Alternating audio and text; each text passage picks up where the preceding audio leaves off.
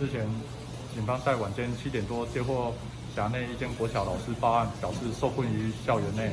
经了解，该名老师因为是代课老师，所以不熟悉校园的门禁时间及校园环境。经警方到场，会同学校的守卫至教室三楼将该名老师救出。老师对警方的协助深感表谢。警方呼吁民众如遇紧急事故，请保持冷静，注意现场的人事五，然后拨打一一零，以利警方迅速搜救。